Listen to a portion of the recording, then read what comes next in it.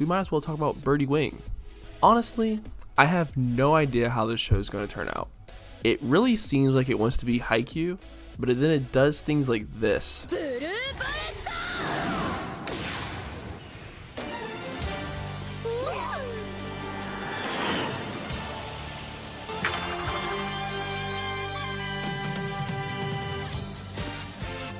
The show just takes itself too seriously to be pulling off stunts that only I and Gigabrain Sheen can calculate and pull off.